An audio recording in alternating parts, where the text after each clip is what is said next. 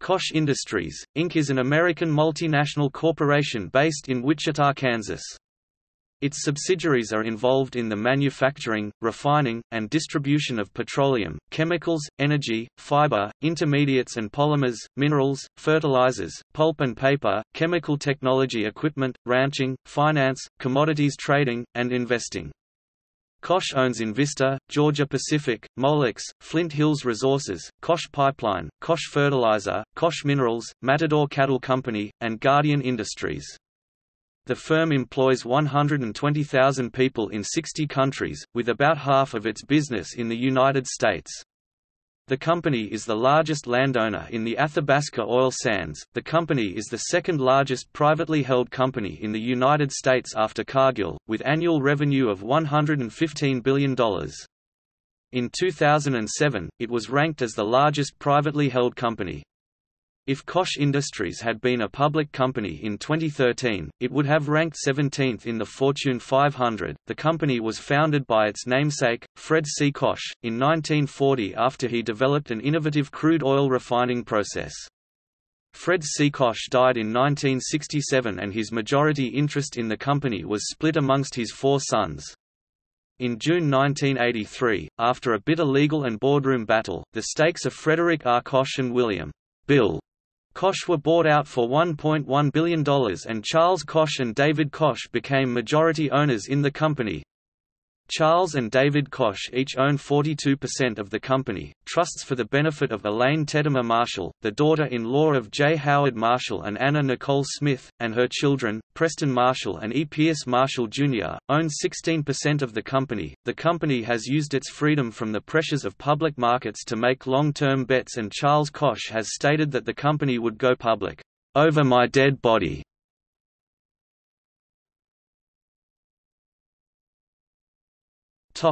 History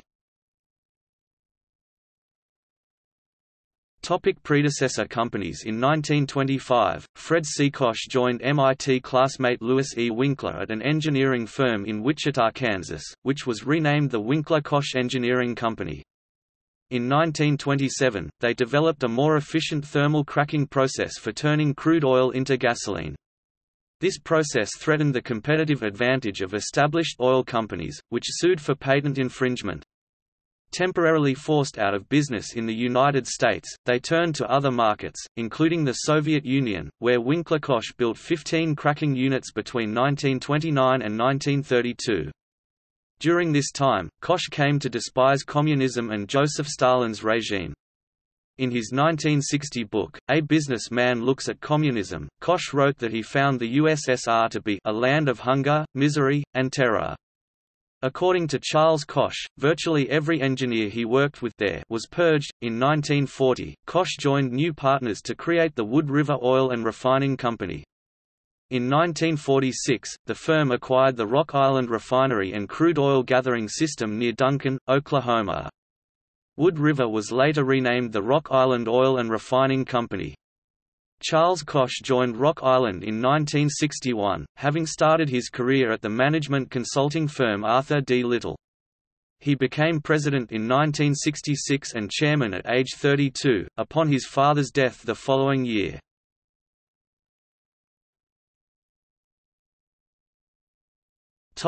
Koch Industries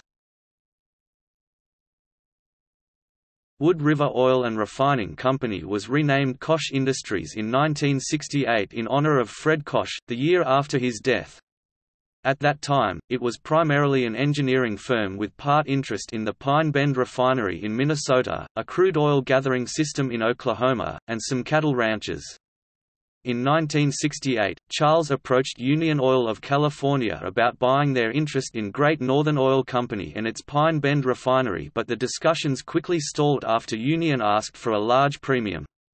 In 1969, Union Oil began trying to market their interest in Great Northern by telling potential buyers that Koch's controlling interest could be thwarted by currying favor with another owner, J. Howard Marshall II. When Marshall discovered this he threw his lot in with Koch, they together acquired a majority interest in the company and ultimately bought Union's interest. Ownership of Pine Bend Refinery led to several new businesses and capabilities, including chemicals, fibers, polymers, asphalt and other commodities such as petroleum coke and sulfur. These were followed by global commodity trading, gas liquids processing, real estate, pulp and paper, risk management and finance. In 1970, Charles was joined at the family firm by his brother David Koch. Having started as a technical services manager, David became president of Koch Engineering in 1979. In 2005, the company acquired Georgia Pacific. In 2010, the company was among the first group of nearly 2,000 employers that applied for and were granted federal reimbursements from the U.S. Department of Health and Human Services, under the new Early Retiree Reinsurance Program established by the Patient Protection and Affordable Care Act, for providing health insurance to retirees too young to be eligible for Medicare. In 2015, the company joined the Ban the Box movement by removing questions about prior criminal convictions from its job application, making it easier for ex-offenders to find work. In November 2015, the company signed a statement of support with employer support of the Guard and Reserve (ESGR) that pledges Koch will provide supervisors with the tools to hire and support employees serving in the National Guard of the United States. In 2008, the company discovered that the French affiliate Koch Glitsch had violated bribery laws allegedly securing contracts in Algeria, Egypt, India, Morocco, Nigeria and Saudi Arabia after an investigation by ethics compliance officer, Igorova Farines. After Koch Industries' investigative team looked into her findings, the four employees involved were terminated. According to journalist Jennifer Rubin, Koch Industries General Counsel stated that Igorova Farines failed to promptly share the findings, choosing instead to give the information to a manager at Koch Glitsch who was later fired for bribery. According to Koch Industries General Counsel, Igorova Farines was not fired but instead ran into performance problems, left the company to go on leave and never returned. Igorova Farines sued Koch Glitsch for wrongful termination in France, lost, and was ordered to pay costs for bringing a frivolous case.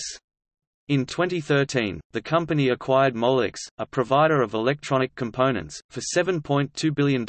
In September 2014, along with the private equity arm of Goldman Sachs, the company acquired Flint Group, a printing ink producer, for $3 billion. In June 2014, the United Negro College Fund announced a $25 million grant from Koch Industries and the Charles Koch Foundation to go towards merit based scholarships and general support of historically black colleges and universities. In December 2014, the company acquired Oplink Communications, an optical networking device maker, for $445 million.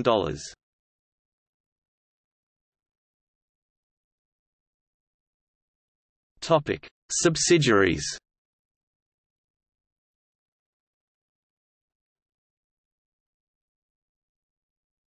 Topic: Arteva Europe SA, R.L.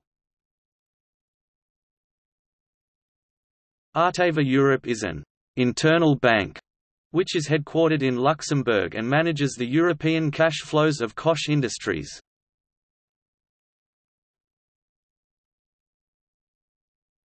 Topic: Flint Hills Resources LP Flint Hills Resources LP, originally called Koch Petroleum Group, is a major refining and chemicals company based in Wichita, Kansas.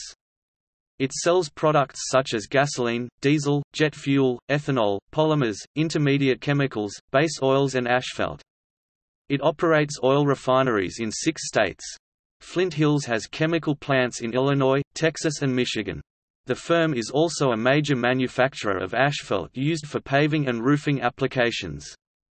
It operates 13 asphalt terminals located in six states including Alaska two terminals, Wisconsin two, Iowa three, Minnesota four, Nebraska one, and North Dakota one. The firm manages the purchasing of domestic crude oil from Texas and Colorado offices, has four ethanol plants across Iowa, operates three refineries in Alaska, Texas, and Minnesota, and has a refinery terminal in Alaska. The Minnesota refinery can process 392,000 barrels (62,300 cubic meters) of crude a day, most of which comes from Alberta, Canada, and handles one quarter of all Canadian oil sands crude entering the U.S. It also operates fuel terminals in Wisconsin four locations, Texas six, and one each in Iowa and Minnesota. On July 16, 2014, Flint Hills Resources acquired Petrologistics, a Houston-based manufacturer of chemical and polymer-grade propylene.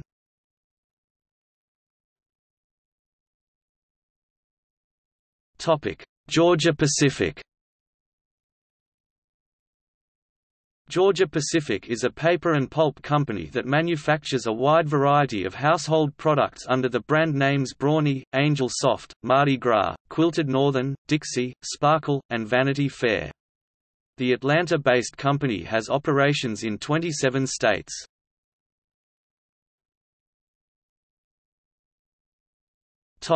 Guardian Industries Guardian Industries is an industrial manufacturer of glass, automotive, and building products based in Auburn Hills, Michigan. The company manufactures float glass, fabricated glass products, fiberglass insulation and building materials for commercial, residential and automotive applications. The company employs more than 18,000 people and has present activities in North and South America, Europe, Asia, Africa and the Middle East.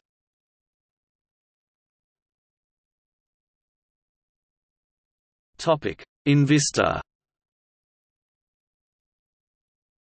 Acquired from DuPont, Invista is a polymer and fibers company that makes Stainmaster carpet, and Lycra fiber, among other products. Topic Koch Ag and Energy Solutions Koch Ag and Energy Solutions, LLC and its subsidiaries, including Koch Fertilizer, LLC, Koch Agronomic Services, LLC, Koch Energy Services, LLC and Koch Methanol, LLC, globally provide products including fertilizer and other plant nutrients for agricultural turf and ornamental plant markets, as well as other enhanced efficiency products and technology for the energy and chemical markets. Koch Fertilizer, LLC, is one of the world's largest makers of nitrogen fertilizers.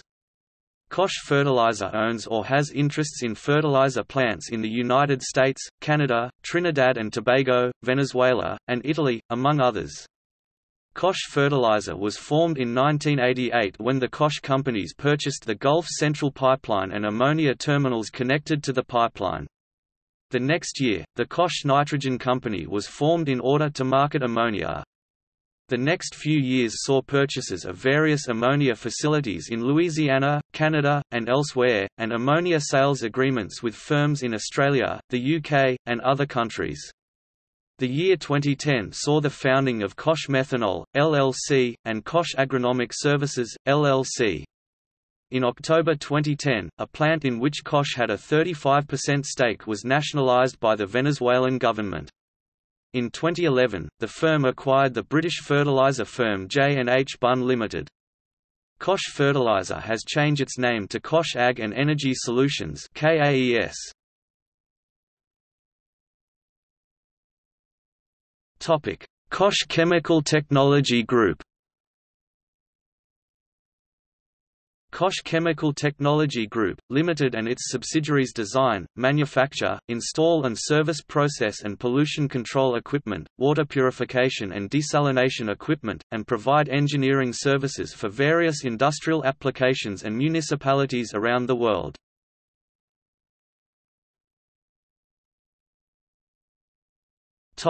Koch Glitsch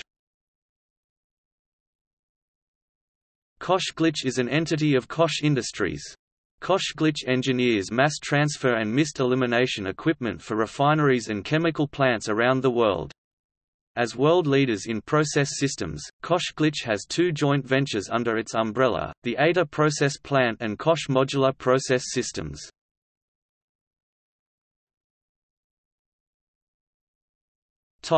Eta Process Plant Eta is the leading supplier of deaeration plants around the world, with over 400 plants worldwide. The majority of seawater deaeration plants supplied by Eta use vacuum stripping.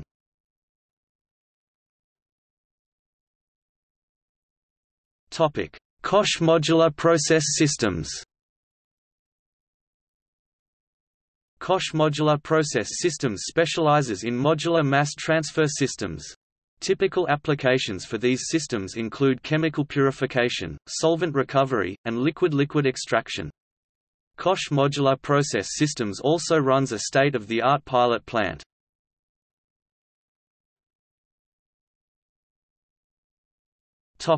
Koch Minerals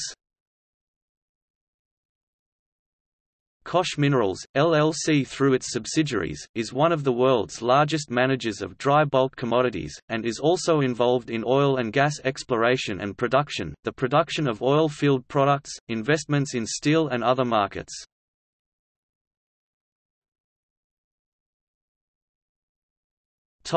Koch Pipeline Company LP Koch Pipeline Company LP, which owns and operates 4,000 miles (6,400 kilometers) of pipeline used to transport oil, natural gas liquids and chemicals. Its pipelines are located across Wisconsin, Minnesota, Texas, Missouri, Iowa, Oklahoma, Louisiana, and Alberta, Canada. The firm operates offices in Wichita, Kansas, St. Paul, Minnesota, and Corpus Christi, Texas. In 1946 Wood River Oil Co., a precursor company to Koch Industries purchased Rock Island Oil and Refining Co. As a part of the transaction, it acquired a crude oil pipeline in Oklahoma. As a result of construction and investments, Wood River acquired other pipelines in the US and Canada in the ensuing years, according to Koch Pipeline's website. The company bought, sold and built pipeline systems transporting crude oil and refined products, as well as natural gas, natural gas liquids and anhydrous ammonia for fertilizer. Koch Pipeline and its affiliates currently maintain a 4,000-mile network of pipelines. In October, 1994, a pipeline broke and discharged over 90,000 gallons of crude oil into Gum Hollow Creek, in Refugio County, Texas. Heavy rains carried the oil to the Nueces River and on into Nueces and Corpus Christi bays. The discharge oiled terrestrial and aquatic vegetation, birds, sediments, soils, and other biota. The consent decree was held up for some time, due to a DOJ criminal case with Koch Pipeline regarding non- and under-reporting of discharges. The criminal case was settled in March 2000 and the assessment completed. In 1996, an 8 inch diameter steel LPG pipeline operated by Koch Pipeline Company ruptured near Lively, Texas, a community about 50 miles southeast of Dallas, and began leaking butane gas. The vapor cloud ignited when two residents drove their pickup truck across a creek near a pipeline, the existence of which locals were at the time unaware, while on their way to a neighbor's house to call 911 and report the smell of gas. The two were killed in the explosion, and approximately 25 families were later evacuated from the neighborhood without injury, including a parent who had witnessed his daughter's death. An investigation conducted by the NTSB found that the pipe section which failed had not been shown to have excessive corrosion in a 1995 inspection. Regulations at the time did not provide criteria for adequate cathodic protection. Koch also stated that the bacteria-induced corrosion acted quicker than had ever previously been recorded in the industry. The explosion was the only event of its kind in the company's history. In 1999, a Texas jury found that negligence had led to the rupture of the Koch pipeline and awarded the victims' families $296 million. Topic Koch Supply and Trading Koch Supply and trading companies around the world trade crude oil, refined petroleum products, gas liquids, natural gas, liquefied natural gas, power, renewables, emissions, and metals. Topic Matador Cattle Company The Matador Cattle Company division operates three ranches totaling 425,000 acres 1,720 square kilometers located in Beaverhead, Montana, Matador, Texas, and the Flint Hills of eastern Kansas. There are more than 15,000 head of cattle raised on the ranches. The Matador Land and Cattle Company was founded in 1882 by Scottish investors, whose acquisition included 2.5 million acres in four Texas counties. In 1951, the company was sold to Lazard Frere & Co., which in turn sold some of the Texas land to Fred C. Koch. In 1952, Koch formed Matador Cattle Company, and later one of his companies purchased part of Matador Ranch, which was brought together with other Koch ranches in Montana and Kansas. In 2010, Matador Ranch in Texas received the Lone Star Land Steward Award, an award sponsored by Chevron Corporation, Toyota, and the Texas and Southwestern Cattle Raisers Association for outstanding natural resource management.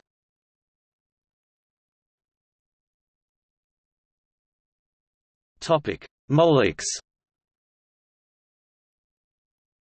In addition to pin and socket Molex connectors, Molex also produces specialized connectors and sensors for equipment used in data transmission, telecommunication, industrial applications, solar power, automotive electronics, commercial vehicles, aerospace and defense, medicine, and solid-state lighting.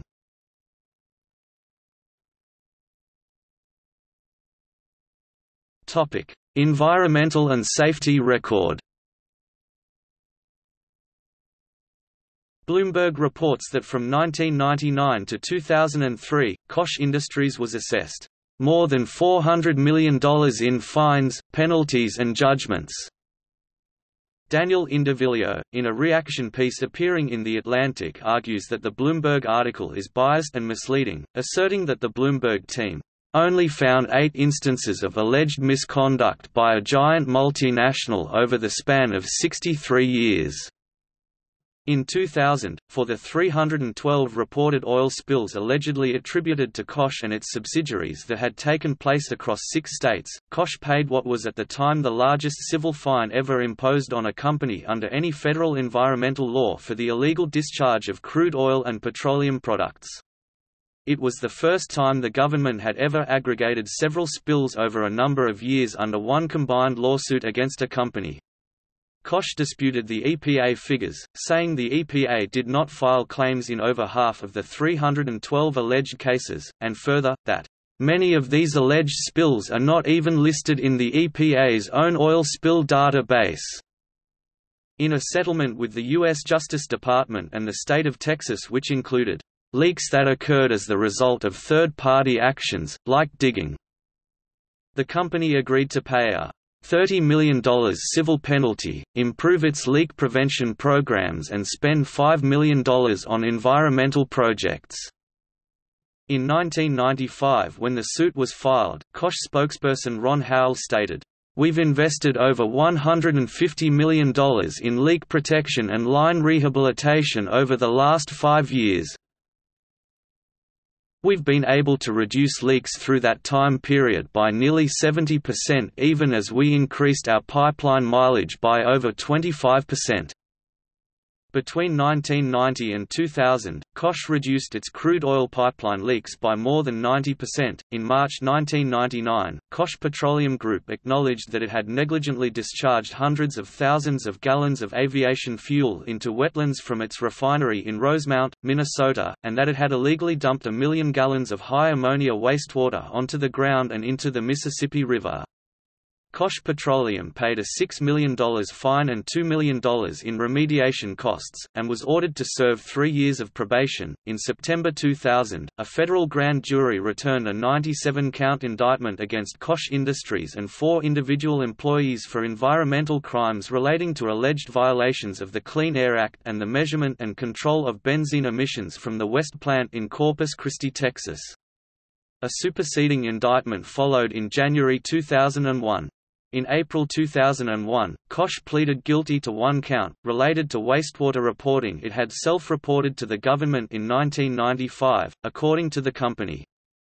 Koch Industries was fined $20 million, of which $10 million was a criminal fine and $10 million to be used for special projects to improve the environment in Corpus Christi. In December 2000, the Justice Department and EPA signed a consent decree with Koch Petroleum Group to spend an estimated $80 million to install up to date pollution control equipment at two refineries in Corpus Christi, Texas, and one near St. Paul, Min, reducing emissions from stacks, leaking valves, wastewater vents, and flares.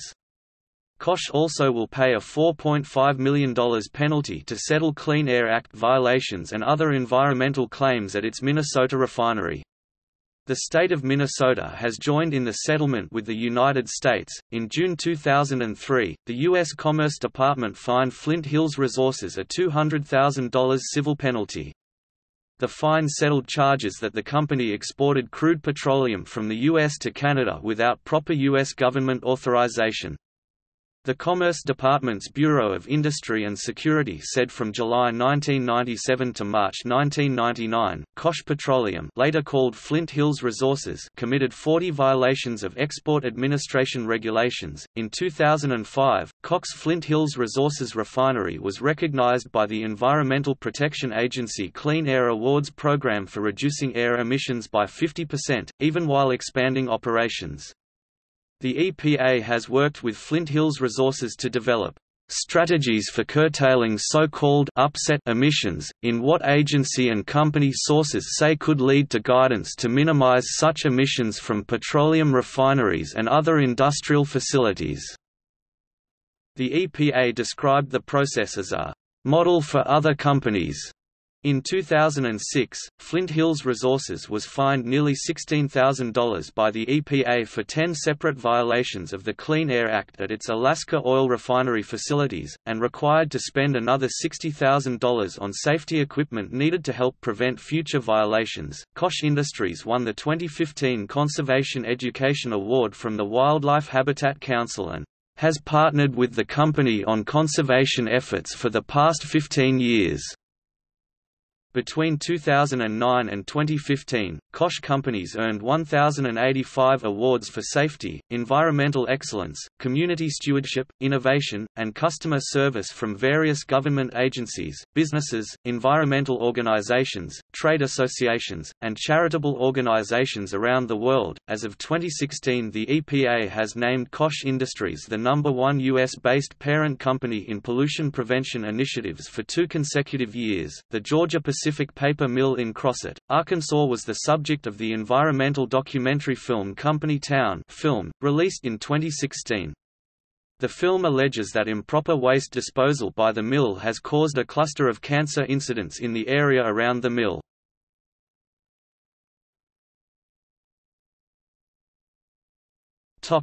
Political activity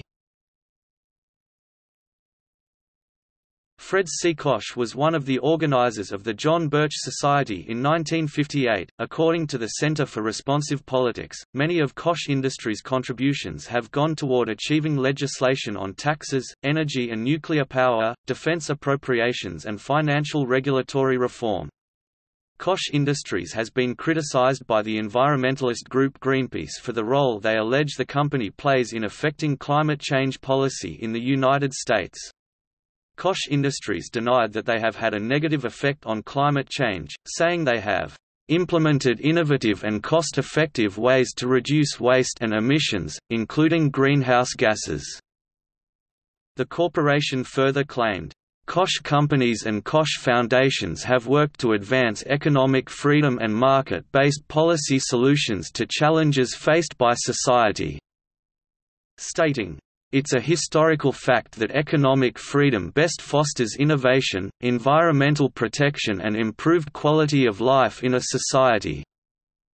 Prior to 2008, a Canadian subsidiary of Koch Industries contributed to the Fraser Institute, a conservative Canadian public policy think tank. According to the institute's founder, the company has opposed the regulation of financial derivatives, limits on greenhouse gases, and sponsors free market foundations and causes. Koch Industries has come out against low carbon fuel standards. According to Koch Industries, LCFS would cripple refiners that rely on heavy crude feedstocks to provide the transportation fuels that keep America moving. The Koch Industries website includes an opinion piece from The Wall Street Journal by Charles Koch, titled, Why Koch Industries is Speaking Out. The article states, Because of our activism, we've been vilified by various groups. Despite this criticism, we're determined to keep contributing and standing up for those politicians, like Wisconsin Governor Scott Walker, who are taking these challenges deficit spending by governments seriously. The company also funds the Political Action Committee KochPAC. In a 2014 opinion piece in The Wall Street Journal, Charles Koch wrote about his beliefs on a free society saying, "...a truly free society is based on a vision of respect for people and what they value. In a truly free society, any business that disrespects its customers will fail, and deserves to do so. The same should be true of any government that disrespects its citizens." The central belief and fatal conceit of the current administration is that you are incapable of running your own life, but those in power are capable of running it for you. This is the essence of big government and collectivism. In February 2016, Charles Koch wrote an opinion piece for The Washington Post, titled, This is the one issue where Bernie Sanders is right in which he argued that Democrats and Republicans have too often favored policies and regulations that pick winners and losers. This helps perpetuate a cycle of control, dependency, cronyism and poverty in the United States.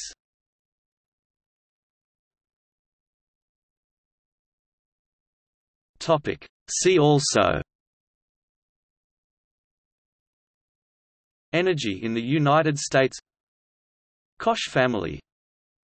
Koch Family Foundations. List of largest companies by revenue. Petrochemical industry. Petroleum in the United States